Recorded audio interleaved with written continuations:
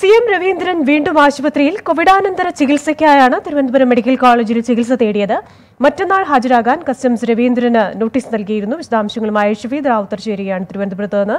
ഷഫീദ് മറ്റന്നാൾ ഹാജരാകാൻ customs notice നൽകിയിരിക്കുകയാണ് ഇപ്പോൾ കോവിഡാനന്തര ചികിത്സയ്ക്കായി സി എം രവീന്ദ്രൻ ആശുപത്രിയിലായിരിക്കുന്നത്. വിവരങ്ങൾ. ആ ക്രിസ്റ്റീന അല്പസമയം മുൻപാണ് മുഖ്യമന്ത്രിയുടെ additional private secretary C M Raveendran Thiruvananthapuram medical കോളേജിൽ ചികിത്സ തേടിയത്. പോസ്റ്റ് കോവിഡ് സിൻഡ്രോം തനിക്കുണ്ട്. അതുകൊണ്ട് തന്നെ ചികിത്സ വേണമെന്നുള്ള ആവശ്യമാണ് ഇക്കാര്യത്തിൽ വിശദീകരണമായി സി എം രവീന്ദ്രനുമായി ബന്ധപ്പെട്ടുള്ള വൃത്തങ്ങൾ സൂചിപ്പിക്കുന്നതും.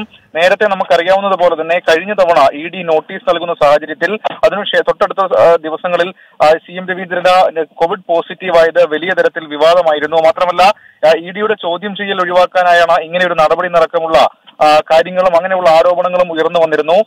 ഇന്ന് ഇരുപത്തിയേഴാം തീയതി ചോദ്യം ചെയ്യലിന് ഹാജരാകാൻ ഇ ഡി നോട്ടീസ് നൽകിയതിന് പിന്നാലെയാണ് സി എം രവീന്ദ്രൻ വീണ്ടും മെഡിക്കൽ കോളേജിൽ ചികിത്സ തേടിയിരിക്കുന്നത്. സർക്കാരിന്റെ വൻ പദ്ധതികളായ ലൈഫ് മിഷൻ കൂടാതെ smart city K phone downtown പദ്ധതികളെ കുറിച്ച് രവീന്ദ്രൻ സ്വപ്നയുമായി സംസാരിച്ചു സംസാരിച്ചിരുന്നു എന്നുള്ള കാര്യമാണ് പ്രധാനമായും ഇക്കാര്യത്തിൽ ഇ ഡി പരിശോധിക്കുന്നത്. ക്രിസ്tina കോവിഡാനന്തര ചികിത്സയ്ക്കായി സി എം രവീന്ദ്രൻ ആശുപത്രിയിൽ പ്രവേശിപ്പിക്കപ്പെട്ടിരിക്കുകയാണ്. വിശദാംശങ്ങൾ നൽകിയതായിരുന്നു ഷഫീദ് റാവുത്തർ തിരുവനന്തപുരത്ത് നിന്ന്.